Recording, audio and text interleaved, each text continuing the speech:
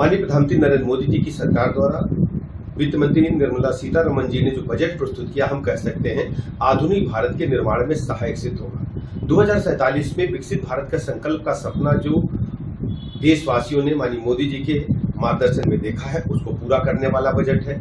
एक तरफ़ छात्रों की चिंता की गई है, किसानों को भी मजबूती देने का काम किया गया है।